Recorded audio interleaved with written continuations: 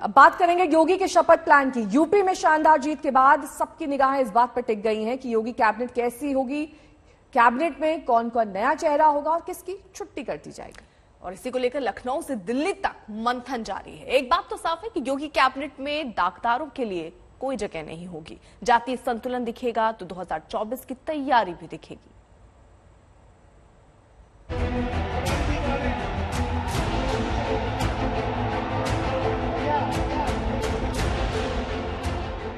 जनादेश आ गया है। यूपी ने योगी पर विश्वास की बौछार कर दी है। बीजेपी की झोली सीटों से भर दी है। 10 मार्च की तारीख आगे निकल आई है। योगी आदित्यनाथ ने नामुमकिन को मुमकिन कर दिखाया है। अब चुनौती है उम्मीदों पर खरा उतरने की, एक सक्षम और मज़बूत टीम बनाने की। खबर आ रही है कि नए मंत्रिमंडल में नए चेहरों की अच्छी खासी तादाद हो सकती है। पिछले कैबिनेट के 11 मंत्री चुनाव हार चुके हैं, यानी मंत्रियों की अच्छी खासी वैकेंसी है। नए मंत्रिमंडल में जातीय संतुलन का खास ध्यान रखा जाएगा। दागदार चेहरों पर दांव लगाने का जोखिम बीजेपी मोल नहीं लेगी।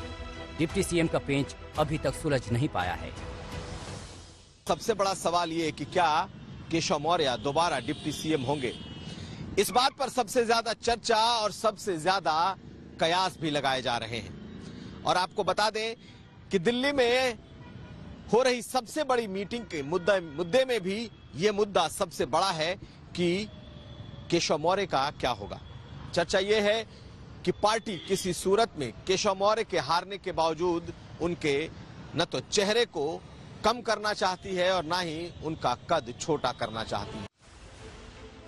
नई टीम को लेकर योगी आदित्यनाथ दिल्ली में लगातार मंथन कर रहे हैं योगी आदित्यनाथ, जेपी नड्डा और अमित शाह, इन तीनों नेताओं की टीम फाइनल करने में अहम भूमिका निभाएगी बीएल संतोष, राधा मोहन सिंह, स्वतंत्र देव सिंह, सुनील बंसल, दिनेश शर्मा और केशव प्रसाद मौर्य भी मंत्रियों के नाम फाइनल करने वाली टीम में हैं। लखनऊ की सियासत में सबसे ज़्यादा चर्चा इस बात पर है कि इस बार योगी आदित्यनाथ का मंत्रिमंडल कैसा होने जा रहा है? तो जान लीजिए, इस बार के मंत्रिमंडल में मुख्यमंत्री योगी आदित्यनाथ की अपनी छाप भी दिखाई देगी। प्रधानमंत्री क्या चाहते हैं यह भी दिखेगा? जातियों का संतुलन साधा जाएगा, क्षेत्र को महत्व दिया जाएगा, और सबसे अहम यह होगा कि इस बार किसी तरह के दागी मंत्रिमंडल में नहीं दिखाई देंगे। यूपी में बहुत कुछ पहली बार हो रहा है। योगी आदित्यनाथ ने कई मिथक तोड़े हैं। नई नई लकीर खींच दी है। 2017 और 2022 के बीच गोमती में काफ़ी पानी बह चुका है। 2017 और 2022 की टीम में फ़र्क साफ़ साफ़ दिख सकता है। नई टीम पर योगी की छाप ज़रूर दिखेगी। योगी आदित्यनाथ चुनावी अभियान में साफ़ करते रहे हैं कि उनकी प्राथमिकताएँ क्या रहेंगी। कानून व्यवस्था, अपराध तंत्र पर चोट, महिला सुरक्षा, गरीबों को मुफ़्त अनाज सस्ता पानी, सस्ती बिजली, अच्छी सड़कें, नए राजमार्ग। हमने कहा भी देखो, विकास भी कराएँगे, लेकिन बुलडोजर रुकेगा नहीं। माफिया के ऊपर बुलडोजर चलता रहेगा।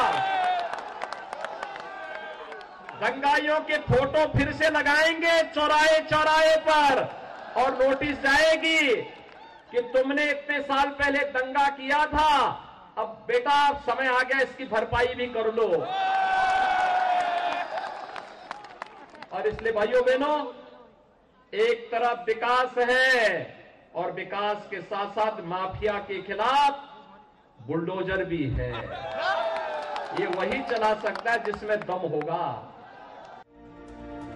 बीजेपी ने यूपी की जनता के दिलों में उम्मीदों के जो कमल खिलाए हैं, उन्हें ज़मीन पर उतारने की चुनौती है।